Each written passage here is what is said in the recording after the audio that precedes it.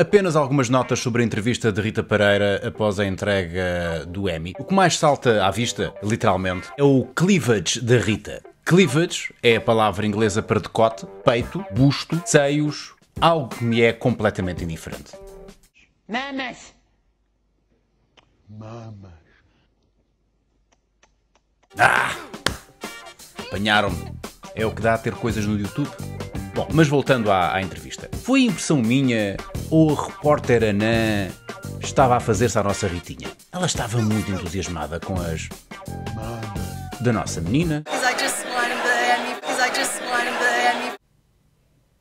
Nada contra, nada contra. Ela até punha assim as mãos quando estava a falar com ela. Assim.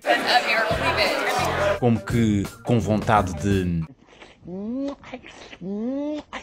O flirt, eh, perdão, a entrevista eh, da americana até estava a correr bem quando aparece a Alexandra Lencastre aos pulos numa tentativa desesperada de chamar a atenção. Ela espera o momento certo e zás!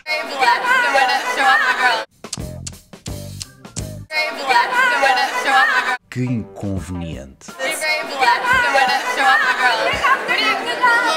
Até o rapaz ao fundo fica tipo: O que é que foi isto?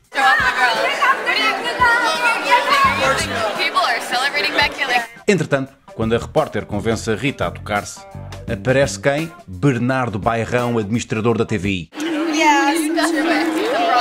Reparem como ele aproveita que a Rita está distraída e pimba! Ah, ganda Bairrão, assim é que é! Não perde uma oportunidade, hã?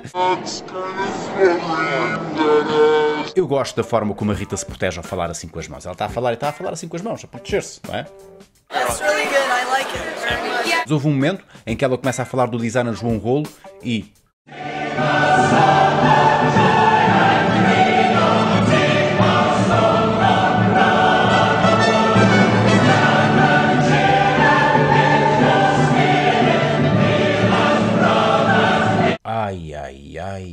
ai, ai, ai, ai, ai, ai, ai, ai, ai, ai, ai, ai, ai, ai, ai, ai, ai, ai.